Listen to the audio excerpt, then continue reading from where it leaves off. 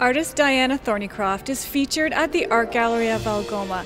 Diana, words like mischievous and dark humor um, accompany some of the description of your collection. How would you describe your collection? Mischievous and full of dark humor, yes. Um, it's um, there's something in this exhibition for everybody the, the, serious art collector or someone who knows nothing about uh, the group of seven but likes contemporary art, or even a new Canadian will come here and learn about certain Canadian icons and events that are important in Canadian lives. What are some favorite pieces that you might want to highlight for us and the message that you're trying to send? Well, to answer the last question, um, I don't really care what people, um, no, I should, I, I, do care what they think, but I can't control what they think. So if someone comes in here and gets a message that um, I'm being disrespectful to the group of seven, they have every right to feel that. Or if they come here and they just laugh. I mean, I, I love that. So right away, I, I don't really care what they walk away with, as long as they walk away with, excuse me, some kind of impression. Uh, one of my favorites, well, I have to say, the very first one I did Early Snow with Bob and Doug.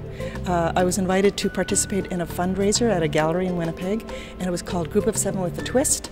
And the Winnipeg Art Gallery had just purchased Early Snow by Tom Thomson, so they had posters available. And I went down and got the poster and put it up in my studio. And then I had just purchased the Bob and Doug McKenzie set, and I plopped them in front, got a little fake snow. I had the wolves handy, the toy wolves, and it like it unfolded within about two to three hours. Um, that was 2005. I was doing another body of work at the time, but I remember the response was amazing. So I remember thinking, note to self, there's something here. So then I, I just continued, and it was, I'd come home. I'd come home from the studio, I'd say to my husband, oh my God, you wouldn't believe what I did today.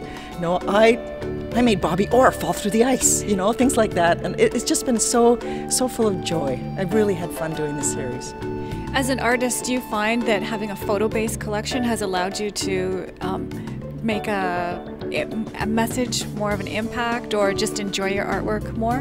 Well, the, uh, the photographs, people, I think, actually, some people think they're paintings, and I think that's um, um, my lighting technique is quite unusual. I work in total darkness, and I I lock the shutter of my camera open and I illuminate the set with a flashlight so there's an inconsistent light source.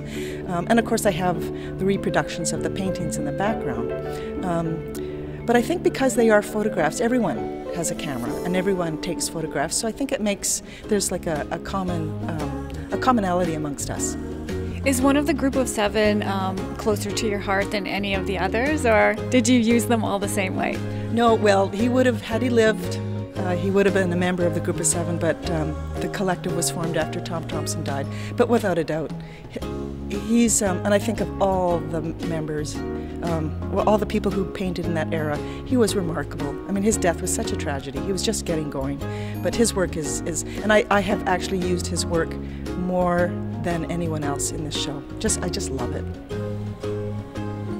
Group of Seven Awkward Moments can be viewed at the Art Gallery of Algoma until January the 4th. For Shaw TV, I'm Ann Gordner.